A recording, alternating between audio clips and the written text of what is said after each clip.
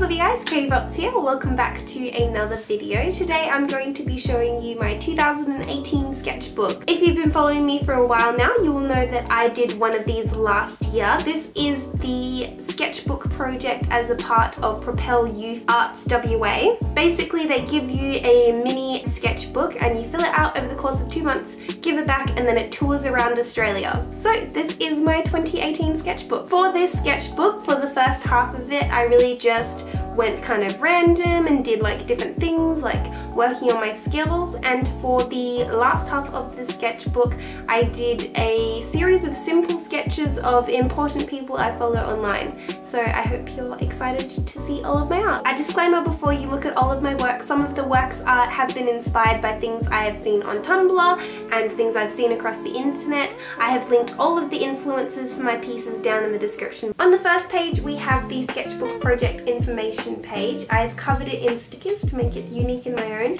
and under about the sketchbook I have written this sketchbook is a mix of work. The first half is a mix of style and design and medium, pen, scrapbook, sketch, watercolour and acrylic. Second half is a collection of simple pencil sketches of influences in my life. On the first page we have a meet the artist thing. Originally I was going to write out all of the fun facts about myself but in the end I went with this thought cloud. In the top corner we have foods I love. In the bottom corner we have things and hobbies that I love like skating, painting and I'm not quite sure what the other thing is. A bottle of wine? Is that glue? I think it's glue. I think I was in my DIY phase. and in the other corner I have sleep, makeup and YouTube. On my next page I have the I did on the plane ride from Perth to Langkawi which was the swirling colours of the clouds outside and then I did a scrapbooky page of like tropical holiday pics that would kind of sum up what Langkawi was like. If you would actually like to see what my trip to Langkawi was like, links to the video of that are down in the description. This one is a simple drawing I did of Connie and then I did a really cute pastel daisy kind of vibe next to it. I think this is one of my favourite pages in the entire sketchbook. It looks really cute. On this page I was inspired by a Japanese fashion magazine that I had. For this one we have a simple line drawing of Thomas Sanders and then a quote he once said which is I am the main character of my own story. I think that's a really nice thing to live by. For this page I have taken two parallel scenes from one of my favourite books Misfit.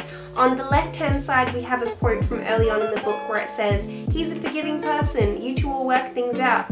Maybe I don't want to. The tear stains on your cheeks say otherwise. And on the right side we have a moment from later on in the book where they've made up and it's really adorable and I love it.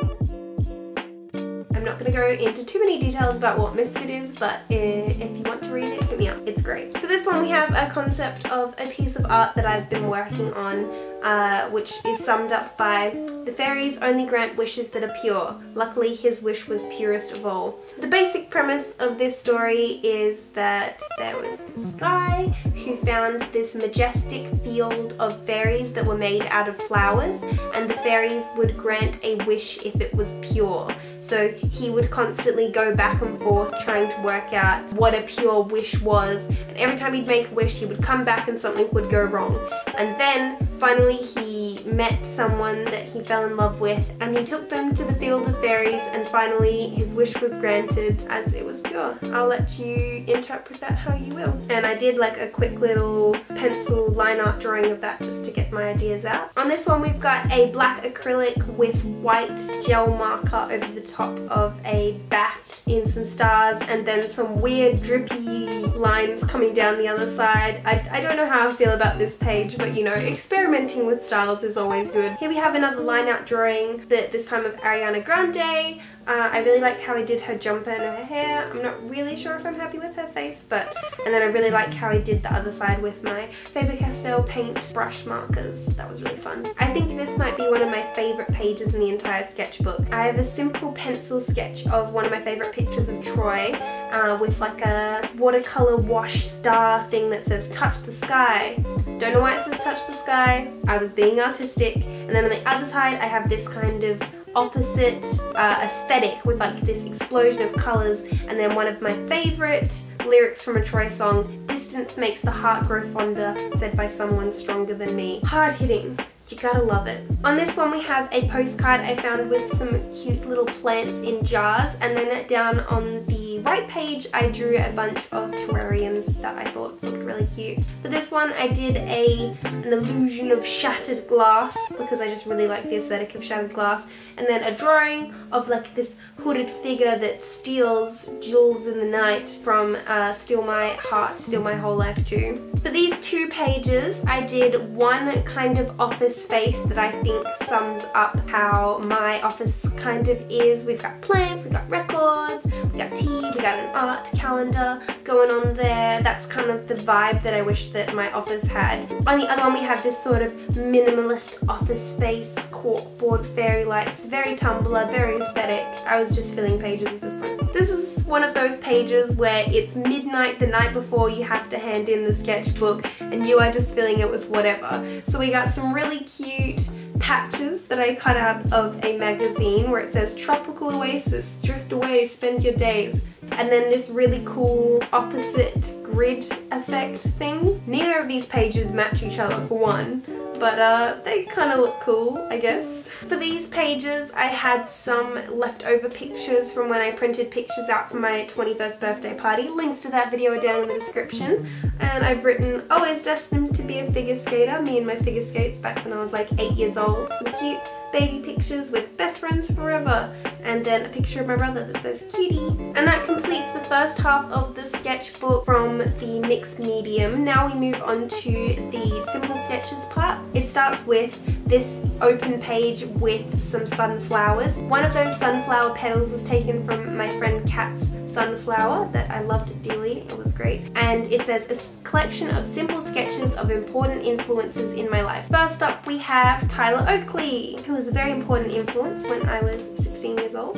Tkay Maidza makes great music. Links to all of these people will be down in the description, by the way. We got Tessa Violet,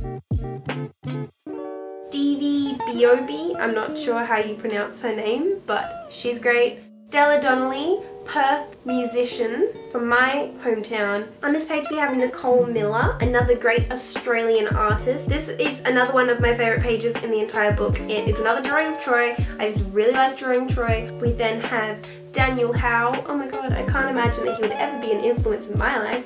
And his counterpart, Phil Lester. Each of them get their own page. They are individual people. Then we then have Connie Glynn, great author, great YouTuber, wrote The Undercover Princess. If you'd like to watch a speed paint of me painting the book cover her book, Links to that down in the description. It's great, one of my favourite records I've ever painted. We have another great musician, Dodie. Love her. Hope she comes to Australia one day. Pixielocks, great YouTuber, makes kawaii fashion videos. We have Rabel, another musician. Most of these people are musicians. I just really love music. And the last person in this book, Thomas Sanders. And finally, on the last page, another midnight before the sketchbooks were due in expedition. We have some gold, artist's risk, and then a ton of glitter. And then hidden in the back pocket there, we've got a little note for whoever finds it in the sketchbook. So if you live in Australia and live near a library, these sketchbooks may come to you at some point and you can read that note. As I said before, if you live in Australia, these sketchbooks will be touring around to a library near you. I would leave a link down in the description on how you can go see those, but I totally recommend you go check them out. There's some really amazing talented artists. My parents went to our library in Perth to check out the sketchbooks I really hope that you guys enjoyed this sketchbook tour of 2018. I hope that I have improved my skills since last year. I hope that I'm able to do this sketchbook project again next year and continue to improve and to create some amazing art. If you would like to see some more of my art that aren't necessarily pencil sketches but I do paintings on old vinyl records, I will leave a playlist to all of the paintings I have done down in the description. Thank you so much for watching. Be sure to give this video a thumbs up if you liked it. Don't forget to subscribe for more art and interesting content and I will see you in the next video. Bye! Mwah.